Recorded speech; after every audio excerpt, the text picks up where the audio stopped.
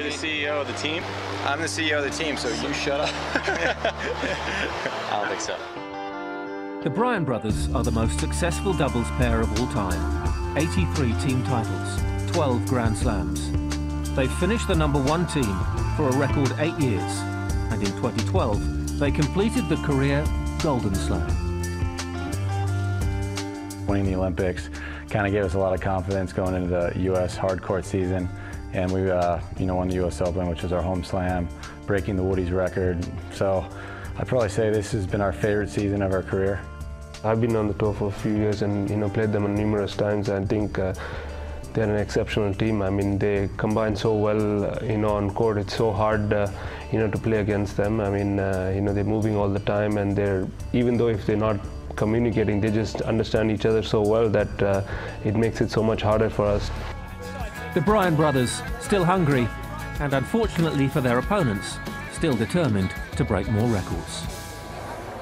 Yeah, it really is an amazing success story. Let's find out how they've managed to be so good. The man behind the Bryan brothers is their coach, David Macpherson. David, great to see you. Yeah, uh, what's it like coaching such a formidable team? Presumably your job is very easy. Yeah, no, it's been a, it's been a privilege, believe me. Uh, they're just amazing competitors, professionals, you know, great fellas too. So it's been a it's been a labour of love for sure. Uh, you've been with them for eight years now. I mean, look at that list of achievements 12 Grand Slams, eight end of year number ones. I mean, it's phenomenal. Uh, yeah, no, that's each year is, uh, has been a, a, successful year. They've uh, been number one every year but one, and uh, won a, at least one major each year. So uh, certainly, there's been a, a, lot of great times along the way, and the gold medal especially. Macca, looking back eight years ago, how tough was it to get into their heads? They're twins, they've been together since a young age. Coach, their, their dad, Wayne, has been so influential. How difficult was it to break the mold and have your input on the boys? it was a gradual process. I mean, I, I, came in and I, I tried to learn about them, what makes yeah. them tick well. And uh, they were already, you know, you know, on the brink of number one and going back and forth between one and two anyway. So they were well established and, uh, and uh, on, on their way. All their games were in place. So uh, it was just over time. I think we've just learned to uh, to get the best out of them and try and prepare them well for each day, each match, and uh, just been bonded closer and closer every year till you know. And, and looking at their game styles, we, we talked before with JL Diago about the lefty-righty combo. Bob and Mike are quite different because one is such a strong server and one is known to have money returns. How does that complement each other and is that the key to them to have that they have the diversity and the strengths and everything covered basically on the doubles courts? Yeah, well, they have some exceptional strengths, but you know they pride themselves on having no holes in their game also. Right. So. Uh, uh, even though Bob's renowned for an, obviously an overpowering, incredible server, I mean Mike's a phenomenal server also, can hit any spot at any time, so clutch.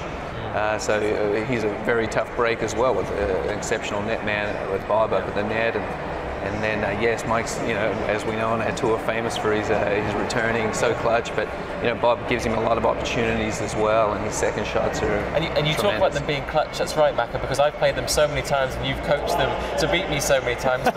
But they're such good front runners. When they get ahead, they're so tough to catch. When they're behind, they never let you get too far ahead. How is it their mentality to be winners and to get to those stages? I think it's just they, they're champions. The champions. They, they really they do everything that they can to, to win every day, and uh, and the never say die attitude. And certainly, if, as a, as champions, if they smell the blood, as you say, a front runner, they, they put the pedal to the metal. And so uh, they really uh, just have a champion's mentality, and they're tough, just tough to beat. And also, I just want to talk about a couple of other teams. Like we have Peter Fleming in the in the studio sometimes, and he had a great career with John McEnroe. Um, we had the Woodforde. Woodforde. We, we briefly saw, saw, Bob talk about the Woodies and taking their record. How much of an influence did those great teams have on this current great Bryan brother team? Yeah, well, those teams uh, inspired the boys. I know they were very uh, big fans of Rick Leach, another great doubles player from California, as they were growing up. And uh, so these, these other great teams before, especially the lefty-righty combination of uh, all taught Mike and Bob something inspired them, and, and then they've just uh, taken their, their twin uh, chemistry and, uh, and, determination into to, uh, new levels of, of, play. David, as far as this tournament is concerned, I mean, for all their phenomenal success, I mean, they've won this event three times, but they have performed here. This, I think this is the 12th year. I think outsiders would be quite surprised to see that last year they got knocked out in the round robin stage. This year they lost their opening match and needed that win yesterday, of course, which they got. But you know, they've still got to work to qualify. Yeah, no, the event is uh, doubles inherently is a game of small margins, and we see that every week on the tour. Uh, most matches are close. Uh, someone said to me in the in the locker room uh, around the grounds last night, I said, "Yeah, gee, that was a, a stressful one or a, or a close one." I said, "They mostly are." so uh, my hairline, I, I, didn't get it for no reason. Yeah. So with the scoring system and just the way doubles are played, breaks are hard to come by. So the matches are mostly close, and I, I really think that that's a testament to what Mike and Bob have done. Absolutely. They've won 15 majors and 90, uh, two or three titles and uh, all these number ones, and yet the game that we play is always nearly a very close battle, and somehow they've come out on top so many times. So, um, in answer to your question, I mean, we're, we're collected the best team, so obviously the matches are going to be close. Um, and, and uh, it's worked out three times for them where they've uh, won the, the, the uh, World in finals, but uh, it's never easy.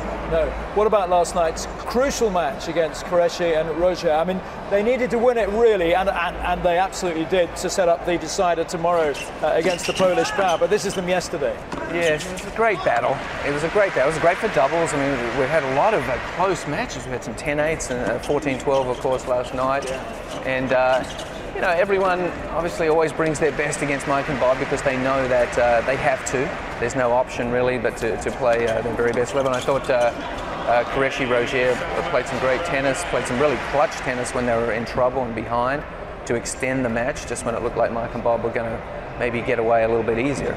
So um, it, was, it was a great great night of uh, hard-nosed doubles. And David, I want to talk about the Bryans, how they've stayed together for so many years. And you talk about all the great teams. We see Qureshi Rojer there again. They've played together two years. Why do teams split so often, and is that helped your boys be so successful?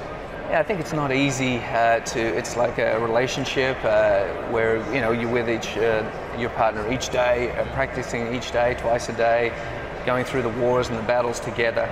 So because Mike and Bob are twin brothers, I mean they're bonded for life, and no amount of uh, no cold streak or no amount of uh, uh, set, any setback is going to derail them from uh, their, their mission, and they'll always have each other's back. Mm. So that's why, of course, they've uh, been able to endure. Uh, all, all, this time. But it's not easy for, for the regular and, teams. And do you think it helps them in these 12 or 13 or situations in the matches like last night? Yeah, look, they like I said, it's that championship mentality, and, and they drive each other forward too. They're, they're, not afraid to, you know, give each other a little curry, you know, if they feel like the, the other one uh, didn't step up or something like that. So they, they push each other forward. Uh, you know, always striving to be, be at their best. How often do they practice the bump, or are they so good at it now they don't need to? No, I know, and it's not as easy as it looks. Uh, you know, I tried it once with my dad, and we both ended up, you know, almost in the emergency ward. So I don't know. It's just a natural, once yeah. again, a, a, little so skill that energy, they have, haven't they? Yeah, they really. Some of them are quite spectacular. They, they'll be yards away from each other, and they'll just meet right in the middle. Boom, bounce off each other's chest perfectly. So yeah, no, it's just, it's pretty impressive. David, I know uh, we've got to let you go, but thanks ever so much for joining us. Great nice, to see you, nice and uh, very best of luck. Hope all goes well for thanks you guys. Thanks.